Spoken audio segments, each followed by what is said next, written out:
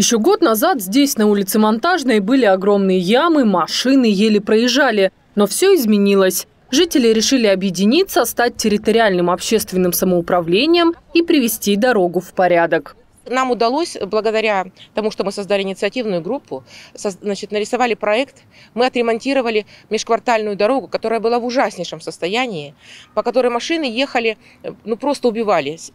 И мы добились того, что нам выделились деньги, выделил деньги край, выделил деньги город, и мы отремонтировали дорогу капитально.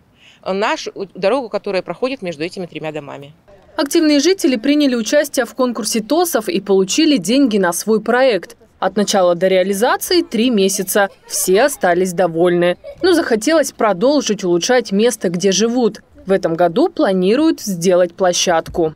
В планах у нас вот на этой территории построить спортивную площадку для молодежи и взрослых людей. Может быть, и пенсионеры выйдут здесь, потренируются, потому что площадь никак не задействована – дети как-то сюда уже перестали ходить, как таковой детской площадки нет.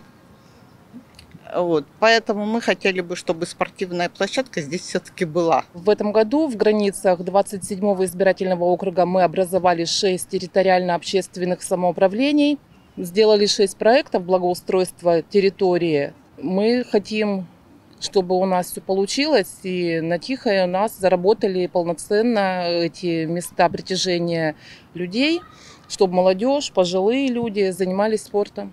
В прошлом году 34 проекта ТОСов во Владивостоке получили финансирование на реализацию своей идеи. В этом году заявок подали уже 70. Мария Пермина, Александр Матвеев, Панорама.